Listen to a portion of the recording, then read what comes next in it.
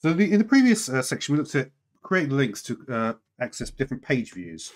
So for example, we looked at this and this, and we even did one which was much smaller, like over here, right? So we wanted to, so we could see like there's different ways to create page views. So essentially when we click on the link, it takes us to a page view. Another method of actually going to a certain point is using named destinations. So if we look in here in side panels, you can see we've got this thing called destinations.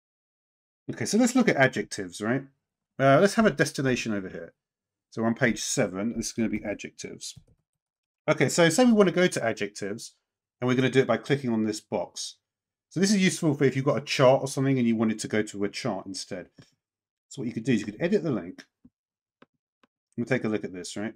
Now in the action section here, we press edit, we've got the option for named destination. And there it is. So we just basically click it in there, use named destination adjectives, okay?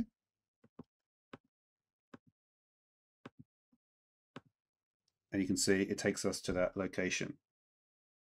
And again, let's try it with this, uh, this one here. So instead of that, we're going to not go there. We're going to go to a name destination. It's going to be adjectives. Go there.